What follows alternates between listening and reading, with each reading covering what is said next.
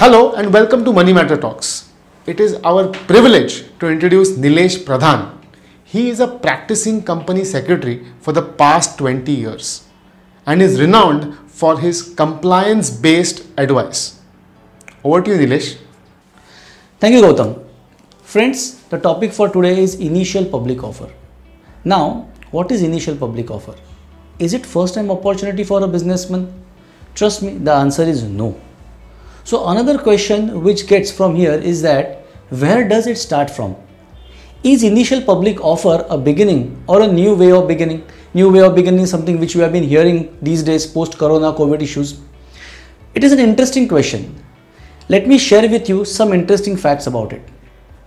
For any business, the first step is conceptualization, wherein some people come up with an idea which is sustainable as well as futuristic. And based upon that idea, what they create is a concept of generating a business opportunity. Generally, it starts with a humble legal structure of a private limited company, wherein the intention is to do business on a regular but consistent basis and ensure that the concepts which the conceptualization team, which are called as promoters of that entity, believe in, get into recognition by the people to a certain extent, maybe to a larger extent as well. Thereafter, the next step is consistent performance over the years, wherein the concept is taken to the next level, which involves creating new ideas, new product lines, and then comes the requirement of new sources of funds for such expansion. No expansion can happen without appropriate funds. Now, this can be contributed by family as, as well as friends. This is a typical policy, typical method in which every private limited company starts to work with its financial requirements. Now, is it enough for an entity to take itself to the next level? The answer may not be yes. Here comes into the picture a concept of opportunity, which is initial public offer. Now, you know what happens? This uh, concept comes when there is a boom in the business. When the promoters feel that there is a boom in the business, there is a possibility of generating revenues through the expansion of business. And that is the actual objective or general objective of IPO. The object, a typical object of IPO is to collect funds from people at large who are generally called as investor. When existing sources of funds are exhausted or they may not be sufficient, the promoters, that is the conceptualization team members, may be ready.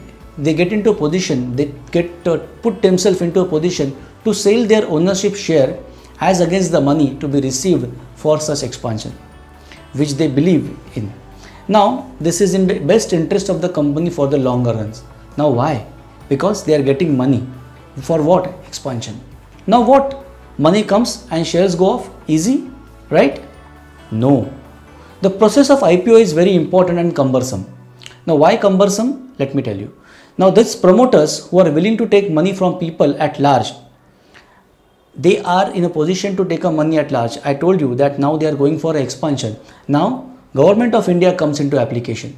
Why? Because the money is to be taken from public at large and the intention of lawmakers is to protect people at large. Now through various legal entities which they have created such as stock exchanges, Securities Exchange Board of India, Registrar of Companies, Ministry of Corporate Affairs, Reserve Bank of India, they monitor these requirements. They check whether the requirements which are required to be complied by this company and the processes which they have led for raising money from the people are satisfied or not. Some basic requirement for this is turnover and consistent dividend payment record.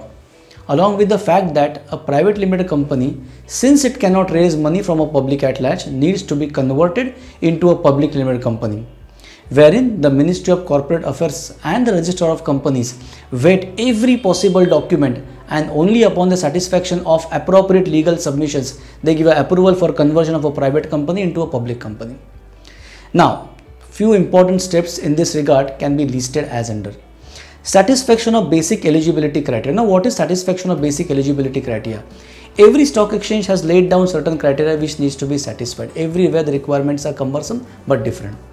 Now it needs appointment of various agencies. These agencies could be merchant bankers, lead bankers and so on. These agencies are required to be appointed to check every document and every process with respect to this IPO.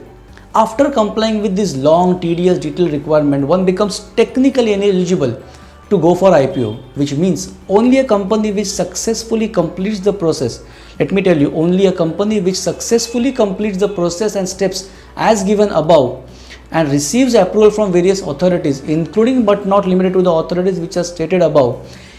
Only then the company becomes eligible to go for a public offer that is initial public offer. Now another question whether one should invest in these public offers or whether the process is complete? No this is an opportunity for the investors to get into or invest their funds or put their money into these companies wherein the documentation, the compliance part is checked by various agencies, various independent agencies as well as government agencies and then comes the actual initial public offer for to be subscribed by the people at large. Well, now the question again, I repeat the question whether one should invest.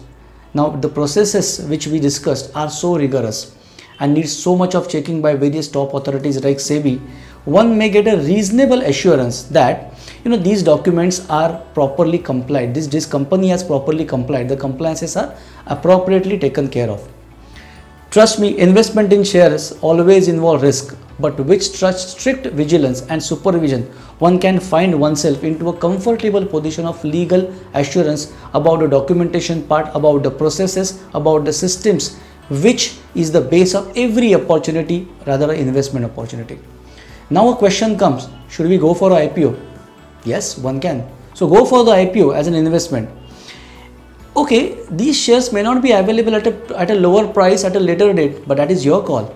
Now, is it a risk? Yes, it is a risk, but according to us, it is a calculated risk. Keep your eyes open. Read all the documents that are submitted while taking the approval for the IPO by company in detail. Take advices given to you by your consultants, brokers. Keep your brain open. Do not get impressed by any of the tips. Do not get do not get trapped by anything. Only get to the official sites. Go to SEBI site. Go to stock exchange site.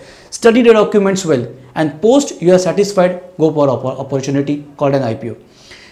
As a matter of caution, these documents checking is very important. So do not do anything in a haste. But IPO post all this satisfaction becomes an opportunity for the investors. So with all my best wishes, go for IPO. Thank you. Wow, it was amazing. Thank you Nilesh for your words of wisdom. Do like, share and subscribe to Money Matterz Talks. Happy investing